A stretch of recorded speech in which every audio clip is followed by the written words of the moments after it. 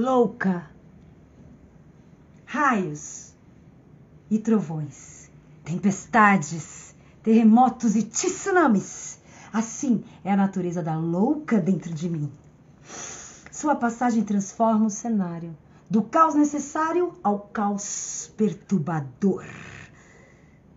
A louca é impiedosa e voraz. Não é boa, nem é má. Com sua fúria, destrói tudo aquilo que não se sustenta mais.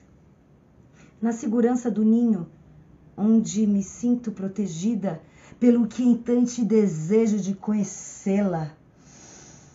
Ah, posso olhar nos olhos dela e domar o medo. Fitar essa minha parte ferida e enfurecida. Ela é aquela que temo, aquela que não gostaria de ver.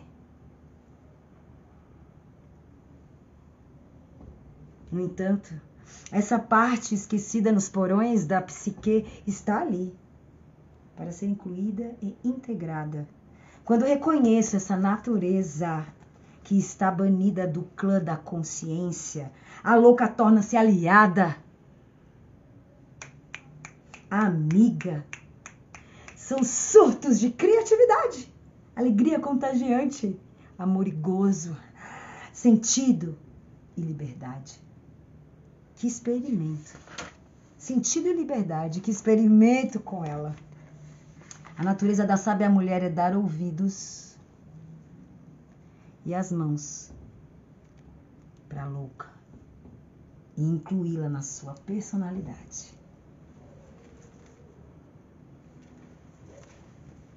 Dando até um calor. A louca tem um poderoso antídoto.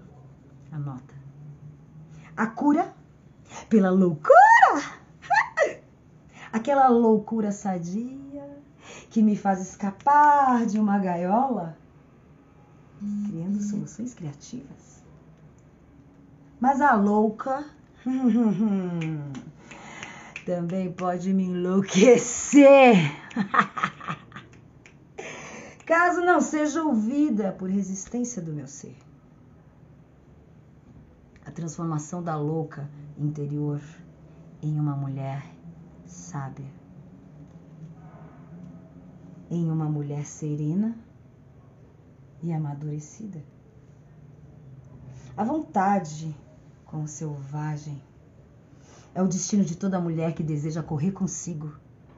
Pertence ao destino da louca criar intimidade com os fantasmas que assombram a alma e libertá-los da maldição de gerações, gerações de esquecimento. A alma.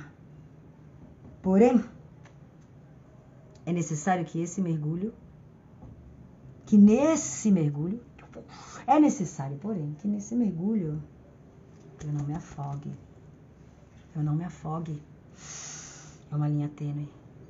É uma linha tênue. Visitar a louca e fazer amizade com ela demanda ajuda e cuidado. Do contrário, sai ferida. Afogada no mar de minhas emoções. Uma travessia de ousadia e bravura, onde criaturas míticas e forças desconhecidas são invocadas para salvar minha psique. Não há como escapar. Um dia a Luca vem me pegar. A Luca é uma mulher sábia. Ela vive dentro de mim e precisa ser reconhecida. Não pode ficar esquecida no calabouço do inconsciente ou presa na masmorra do esquecimento. A Luca traz a chave. A chave que abre a última porta. O fio que repara a trama. Sem ela nunca serei inteira fico pela metade. Na psique feminina, podemos imediatamente reconhecer a louca olhando para as nossas mães. Todas nós sabemos.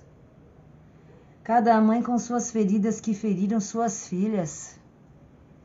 Cada uma com sua forma de amar e doer. Da mãe boazinha demais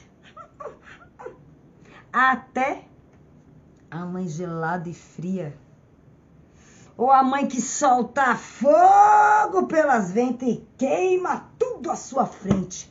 A mãe doente.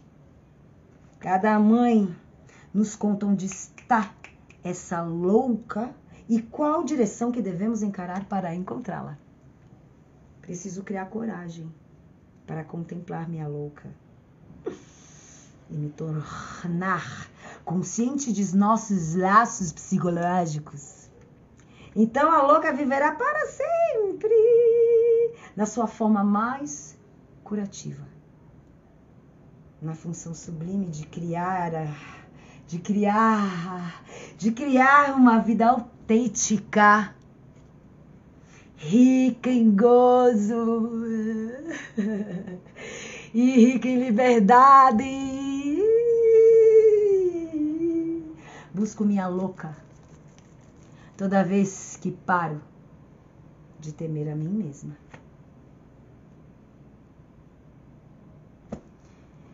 Assim falou André Sumé, autora desse livro incrível que só tem apenas uma edição, gente. Vamos falar para ela mais uma edição, mais uma edição, nem que a gente faça vaquinha para ela fazer mais uma edição dessa obra que fala com o nosso coração por todas as nossas relações de André Sumé, bruxa velha do meu coração.